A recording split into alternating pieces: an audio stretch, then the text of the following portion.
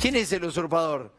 Loco, se han quedado con, un, con el lago escondido, un amigo de Macri, este con el pozo de agua de la escuela, les importa nada a los pibes, después te habla de las cuestiones éticas y ahora quiere recuperar sus campos. No son tuyos, Echeverre. En todo caso, si vamos a ser justos, no son ni tuyos ni de Dolores.